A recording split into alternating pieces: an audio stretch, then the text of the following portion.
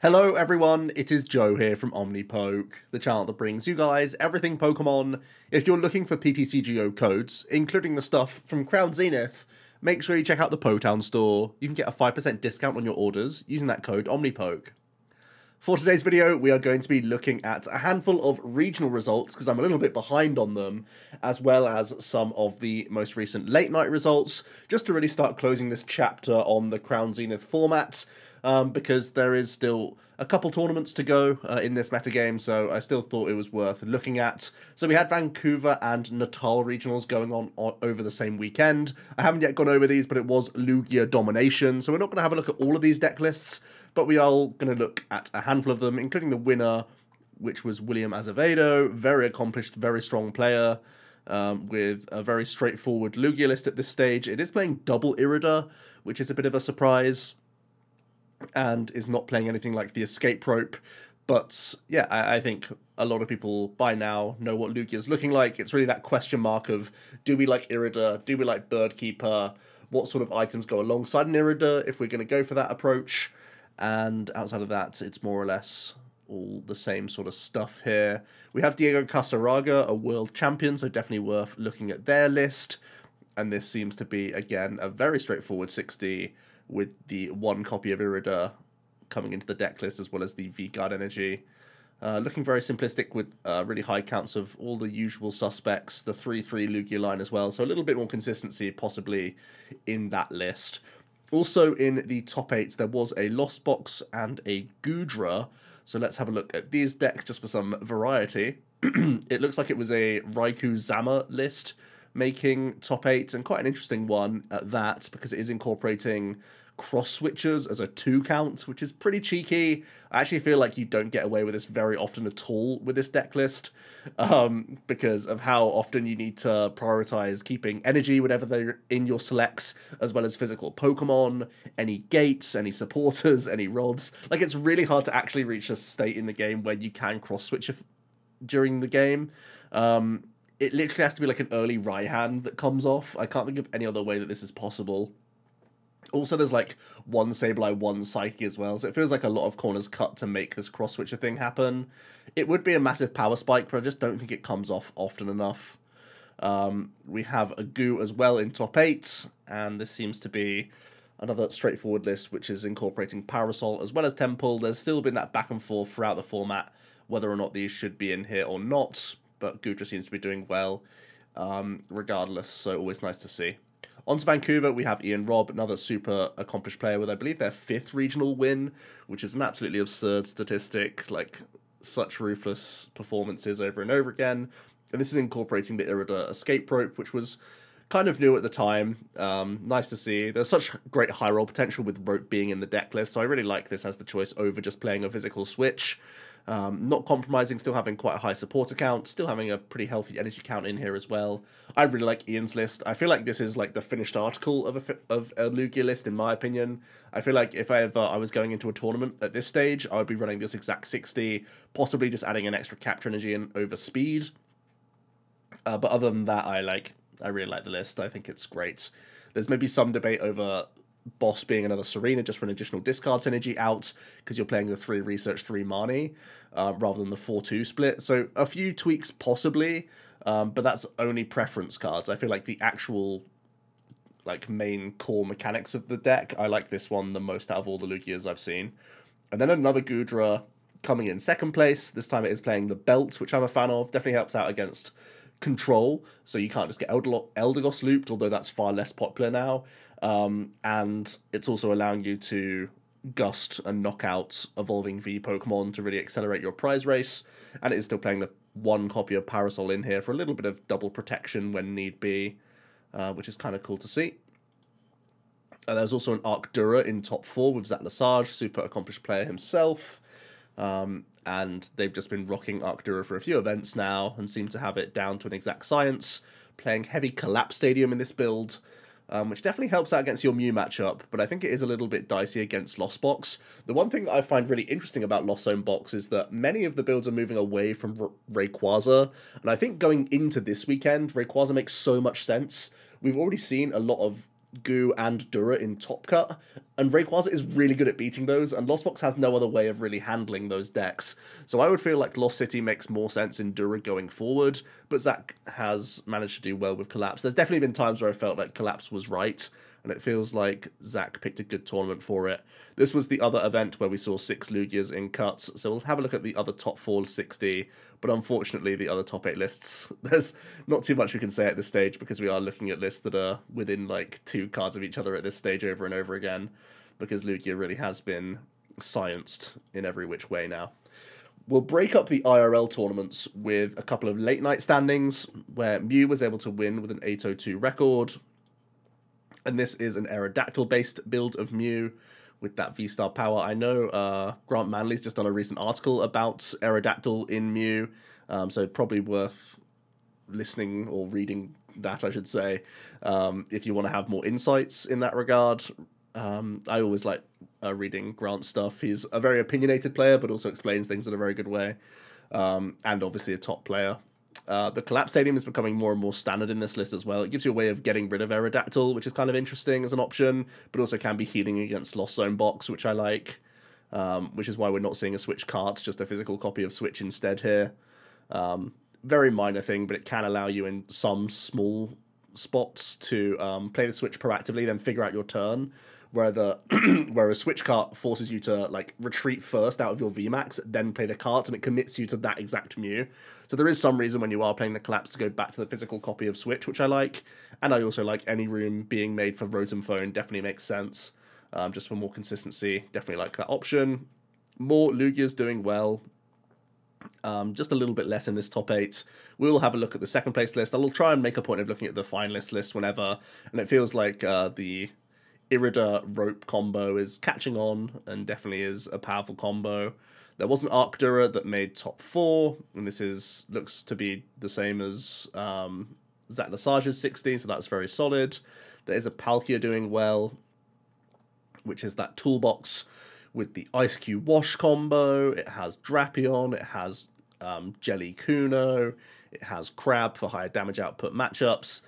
Uh, we've seen this again before. Um, and it just seems to squeak in every now and then. Still not the most consistent 60, but it has strategies into all the popular stuff. There's an Arceus that made top 8, and wow, it's an Arceus Gigas. I wasn't prepared to talk about this deck at all. Uh, man, it even has um, an emergency surfacing Empoleon. I have this in my cube. That's the power level we're talking about of a card. Um, but if you have no cards in hand, you can bench it and draw three. This is actually an annoyingly chunky single prize Pokemon that you can use possibly against like Lost Box or something for a 60 snipe. I don't really know why this is here, I'll be honest with you. This is so wild. Um, I'm not too sure. Is this literally just so that you have an answer through Miltank? Possibly that's why it's in here. I honestly couldn't tell you. Um, but the Gigas um, is interesting in that this is playing powerful colorless, so you can try and push that Giga Impact to 280, right? No, you can't because you don't play belts. So it's in here to still try and Star Guardian question mark. I really don't know. It's an arc deck, and it only has a 1-1 bib, so I'm feeling like I have to Starbirth quite often. It's playing part and vacuum. It, so it plays the capsule so you can try and tank with Gigas this just like isn't a fully supported Gigas. It's so weird. I feel like if I was playing Gigas, I would want an extra powerful and like at least one belt so you can 280 stuff. What am I missing? I don't know. So kooky. I really wanted Gigas to work. It's such a cool card, but it feels like it hasn't been lent into fully there. Um, but oh well. Nice result. And cool to see a deck that makes me scratch my head. The other late night was won by a Lugia, so let's have a quick nod to Lugia.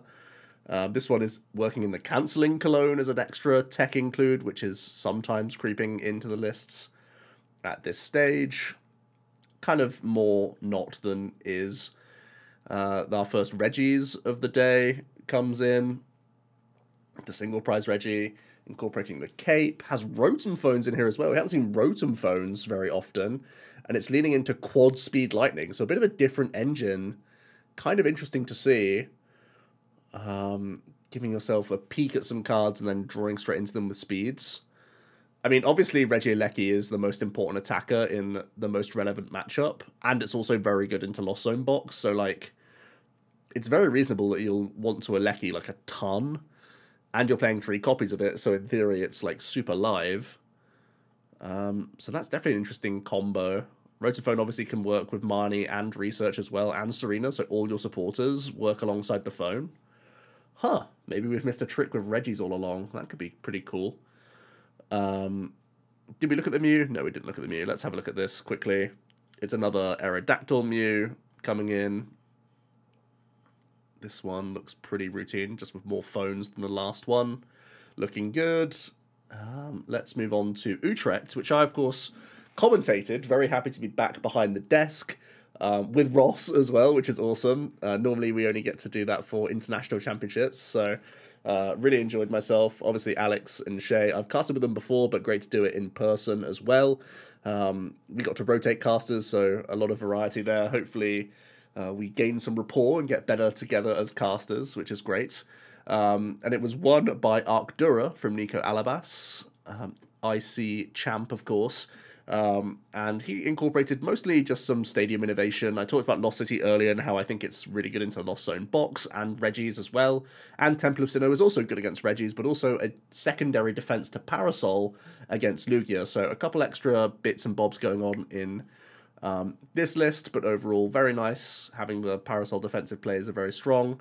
Um, and great to see Nico doing well again. We have Vinny playing the Goodra.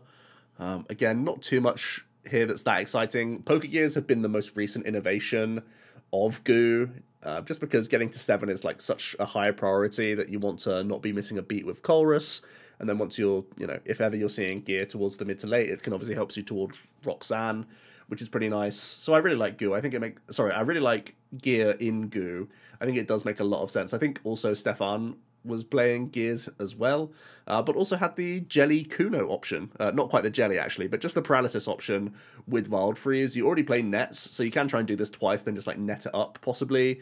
Um, and this actually works quite nicely with Rolling Iron Math if you can get it to work properly. Uh, so this could be an extra way you could try and have a good time or one-up some Lugia players as well, which I thought was also pretty creative. Um, then we have our first Lugia and our only Lugia in top 8, and it's from Tord, and it's like a complete theme deck. Uh, it is literally just ball search items and just draw supporters with boss, and it's playing 17 energy and a 4 3 Lugia. So it's like really crazy actually to see that a just draw good forehead Lugia list did so well. But maybe it's just Tord things, and I feel like not many people will uh, sort of revert back to such a simplistic list. I think at least having a vacuum in here would make sense. He literally had to scoop to Nico because um, he was checkmated by a parasol with Dura.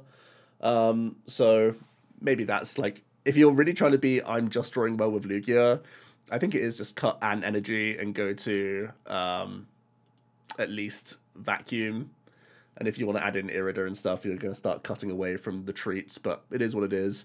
Uh, I like that Tord was bold enough to be like, I'm just going to draw better than everyone and do well.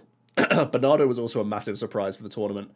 Bernardo hasn't played for a number of months, and it shows, right? It's literally an old deck list that has made a comeback uh, because we haven't seen Beedrill for a number of uh, months, really, because mostly of Parasol, I think, where the Persist Sting doesn't really come off against everything. But Lugia doesn't play Parasol, which is great, and Mew po- probably just plays like one copy. So if you can find the situation to just deal with their other one via Beedrill, it could actually be massive. So ironically, Arc Intel Bees is like kind of okay. You have the late game beat stick potential with Radiant Charizard, and you have um, the recovery of Ordinary Rod to try and reload this. You have Hand Disruption in the form of Roxanne and Marnie. You have the healing of Cheren's Care into things like Goodra and Lost Zone Box and such, where you're trying to have this tanky arc just over and over again. So, kind of interesting to see that Arc Intel actually still can survive in this format with the B as well.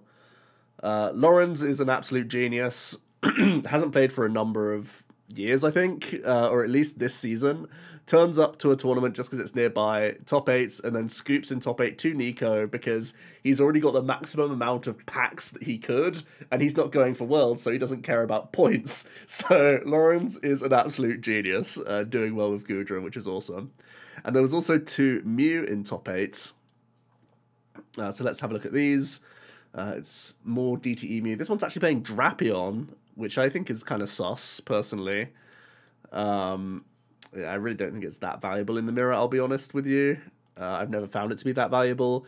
And then Oliver with uh, just a cookie cutter list, really, uh, going on in there. I also want to look at the ninth place list because this was on the bubble, unfortunately, because all of our winning ins concluded naturally without tying.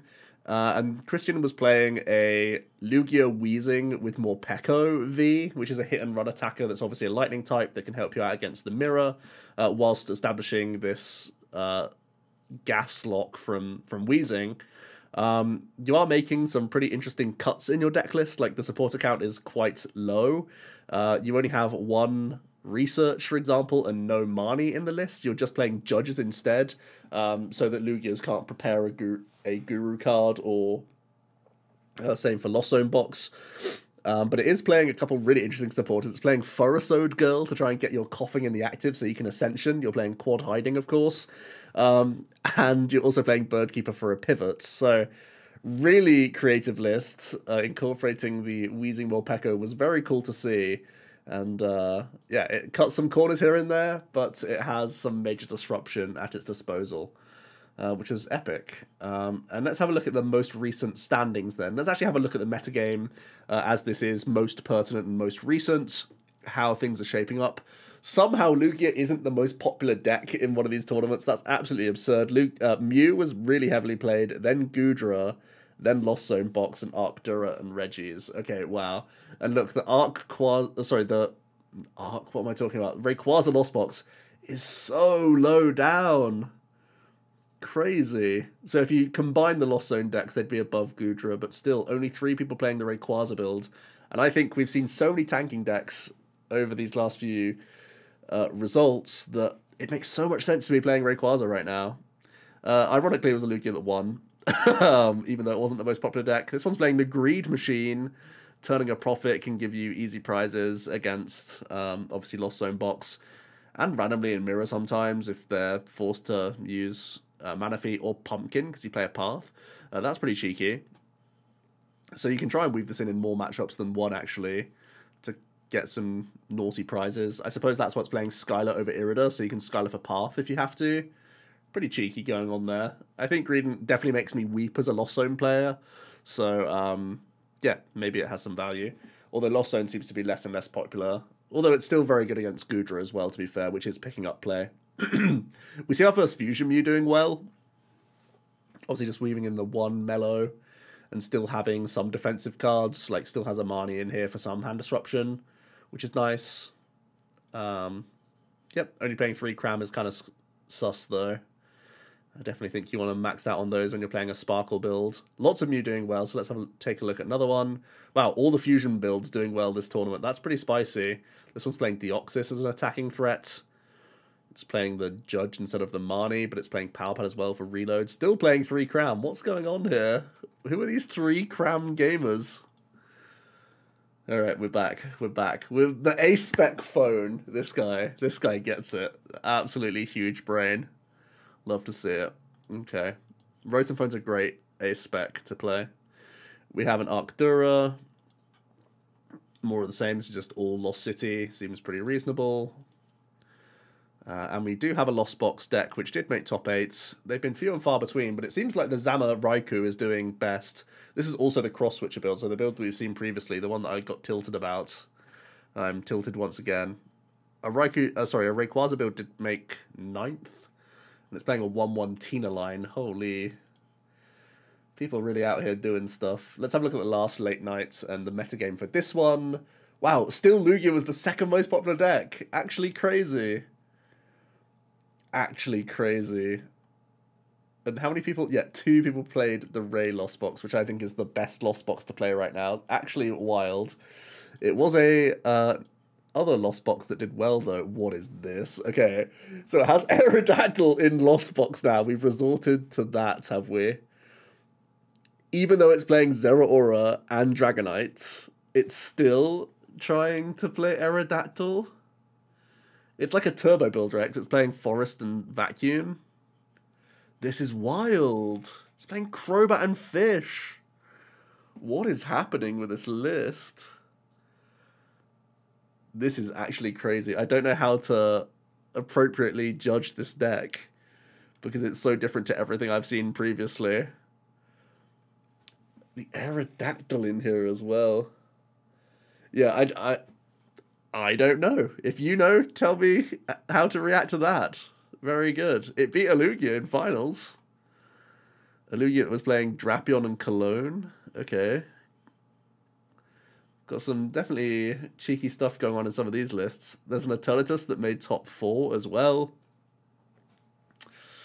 Uh, wow, people really are out here playing decks. I, I'm at that point where I've just lost my mind. I'm still thinking about the first place list, I'm not going to lie.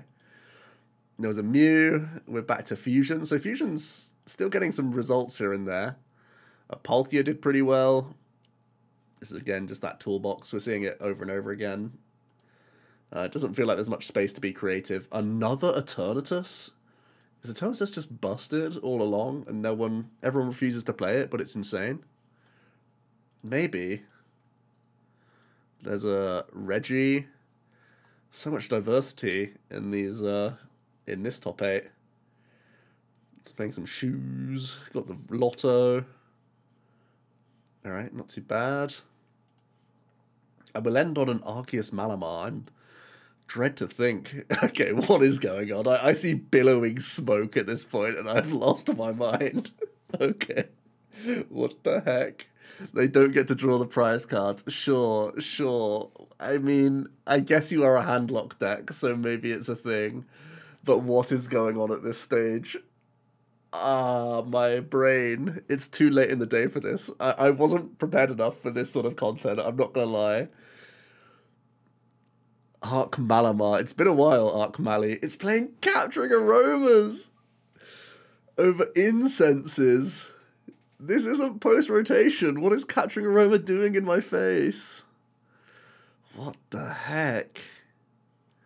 It's got a 1 1 wheezing as well. The 1 1. With one balloon and one rope. How does this ever come off? What the heck? This is so weird. What a funky deck. Okay. I mean, Locke's out here cooking, right? There's no doubt that Locke's just having fun with with the deck, but it's pretty sick that they got top eight. So yeah, um, I have to try and recalibrate after all that. Lugia should and will be the most popular archetype, and I feel like Ian's list that we looked at is probably my favorite 60. Uh, and just the debate over like if you want to play Ace Arena over a boss and if you want to play fourth capture or not. Um, Mew, mostly I still think that Judge Path Mew is the best way to go. Um, I'm fine with Aerodactyl being in the deck. Honestly, it gives you more percentage into the most popular deck, so that's fine. Lost Box, we've still seen a few of them in top eight, but they're sort of um, diversifying in places that I think are really weird. And I think Rayquaza Lost Box is actually well positioned for this tournament because it's actually okay into Goodra and Arctura. Um, especially because against Goodra, you know their only hand disruption is Roxanne. So if you just prepare your board state pre Rocks, you're just so good into that matchup. I don't know how you lose it. Uh, and Arctura, you have two one hit KO option delete buttons, which is completely great for you. Um, Reggies are just going to keep Reggieing, not much changes there. Goodra and Arctura are like still okay choices, certainly.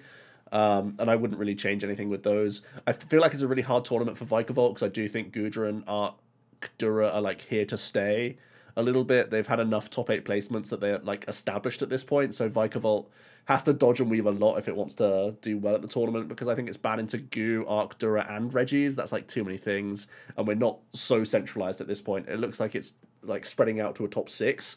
Uh, so although you'll face a lot of Lugias, you can still lose that matchup as well the Eternatus thing, I really don't know about it. Like, it's made a top eight, uh, but I think it's still kind of cope. I think that pretty much rounds things out. Yeah, that's my thoughts going into the last two tournaments of Crown Zenith. Let me know your thoughts down below. Thanks so much for watching, and I'll see you for another video tomorrow. Cheers.